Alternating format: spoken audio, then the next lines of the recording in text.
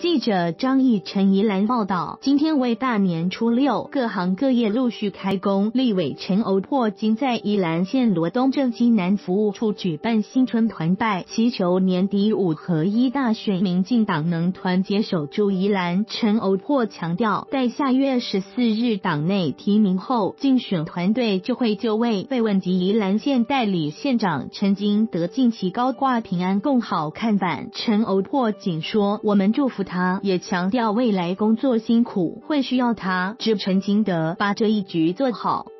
距离年底五合一大选仅剩九个月，陈欧破服务处经准备芹菜、葱、蒜、饭团、粽子、菜头等食材作为贡品。陈欧破称，每个贡品都有意涵，饭团代表团结，粽子代表包中，芹菜则希望勤耕基层，葱蒜则希望年底大选能动算。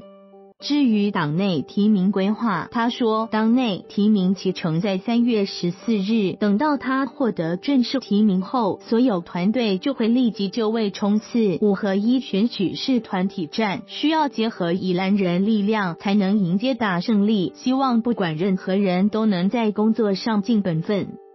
陈欧珀还向陈金德喊话，他直言陈金德是代理县长，未来他的辅选工作会非常辛苦，我们会做最好的团队合作。过去至今感谢他支持我，未来更需要他支陈金德把工作做好，全力胜选。